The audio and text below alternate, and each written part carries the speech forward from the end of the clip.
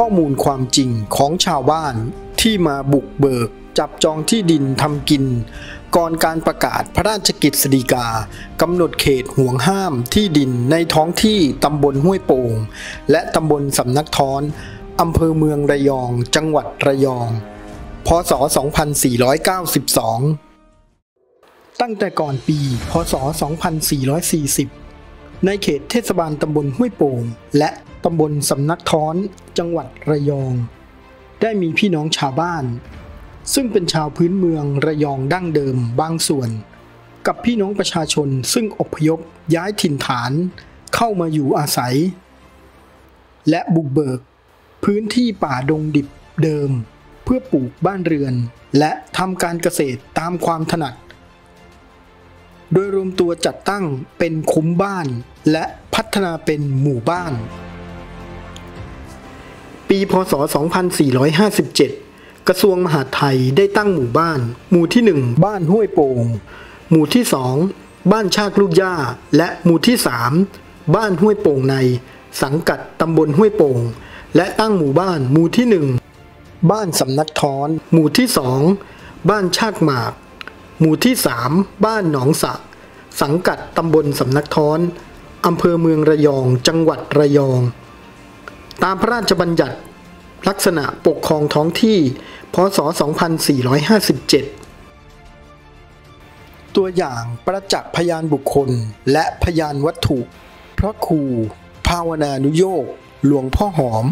เจ้าอาวาสวัดชักหมาก หลวงพ่อหอม เดิมชื่อนายหอมทองสำริดเกิดที่บ้านชักหมาก หมู่สองตำบลสำนักท้อนอำเภอเมืองระยอง จังหวัดระยอง เมื่อวันจันทร์ เดือน 10 ปีขาน พศ 2433 หลวงพ่อหอมบวชตั้งแต่ พศ 2455 ได้ปฏิสังขรณ์ที่พักสงฆ์ที่ถูกทิ้งร้าง 10 ปีเศษ โดยตั้งใจเป็นวัดประจำหมู่บ้าน ท่านได้รับการแต่งตั้งเป็นเจ้าอาวาสองค์แรกของวัดชักหมาก ได้รับอนุญาตจากกรมการศาสนา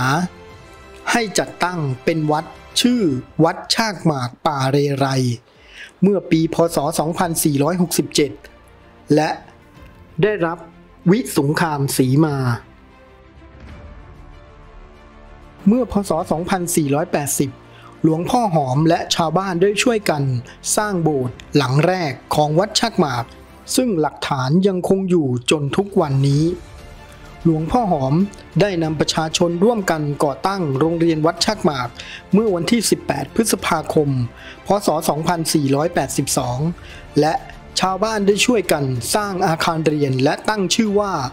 ตึกหอมราชวิทยาคาร กำนันหยอยสุวรรณสวัสดิ์อดีตกำนันตำบลสำนักท้อน ผู้เกี่ยวข้องโดยตรงกับการปักเขตแดนพื้นที่ห่วงห้าม กำนันหยอยสุวรรณสวัสดิ์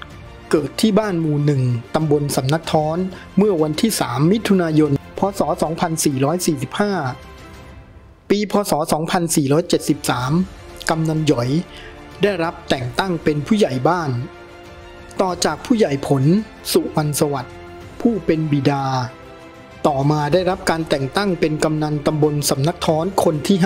5 ตั้งแต่เริ่มจัดตั้งตำบลสำนักท้อนเป็นต้นมา ประมาณปีพศ 2491 มีกลุ่มเจ้าหน้าที่กรมพัฒนาที่ดิน เดินทางมาพบกำนันหยอย และขอความร่วมมือให้จัดหา และว่าจ้างเกวียนกับคนงาน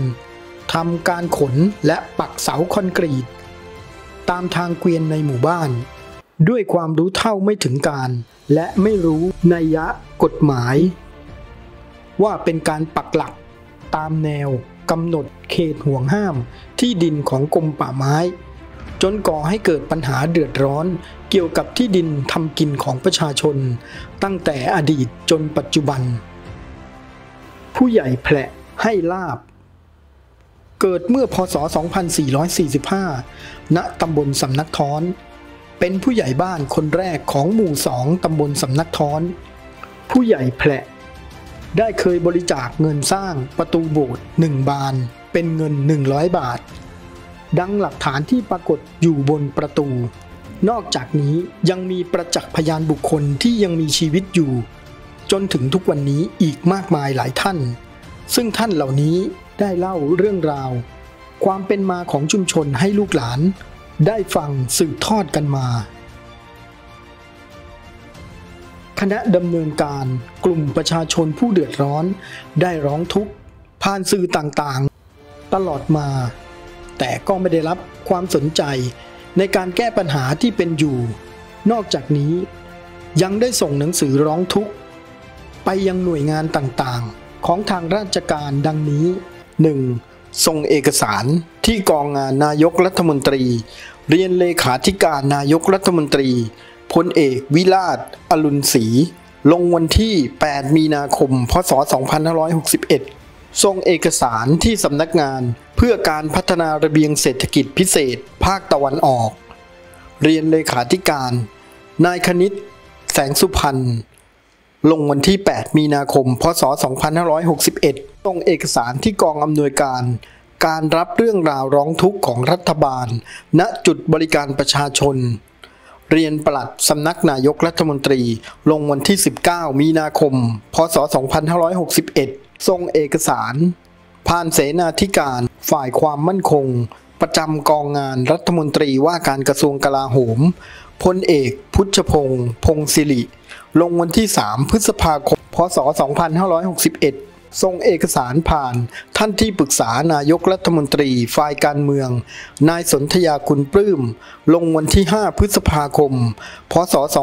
2561 ส่งเอกสารถึงประธานผู้ตรวจการแผ่นดิน ลงวันที่ 28 กันยายน พศ 2561 ส่งหนังสือถึงนายอำเภอบ้านฉาง ลงวันที่ 2 ตุลาคม พศ 2561 เมื่อวันที่ 11 ธันวาคม พศ 2561 นายศิลป์กีรติยาคม ประธานคณะกรรมการดำเนินการ ได้ส่งหนังสือถึงพลเอกประยุทธ์จันทร์โอชา นายกรัฐมนตรี นั้นในเมื่อวันที่เอ่อ4พฤศจิกาเนี่ยค่ะทางคณะของสุสินก็ได้เขาเข้าพบผู้ว่าราชการจังหวัดค่ะระยองนะฮะท่านอืมสมศักดิ์สุวรรณบุจริตค่ะนะครับ ท่านก็รับปากแล้วว่า เดี๋ยวท่านจะประชุมประชุมคณะกรรมการควบคุมการใช้ที่ดินของรัฐจังหวัดระยองเนี่ย ขึ้นใหม่แล้วแล้วก็จะเอาเหตุผลของรัษฎรที่มามาร้องเรียนเนี่ยค่ะที่จะให้คณะกรรมการได้อืมได้พิจารณาทบทวนว่าจะเอาตามที่รัษฎรร้องเรียนไหมนะครับ จากประจักษ์พยานวัตถุและบุคคลที่ได้กล่าวมานี้ แสดงให้เห็นว่า ชาวบ้านมาบุกเบิก จับจองที่ดินทำกิน ก่อนประกาศพระราชกิจสฎีกากำหนด เขตห่วงห้ามที่ดิน ในท้องที่ตำบลห้วยโป่ง และตำบลสำนักท้อนอำเภอเมืองจังหวัดระยอง พศ 2492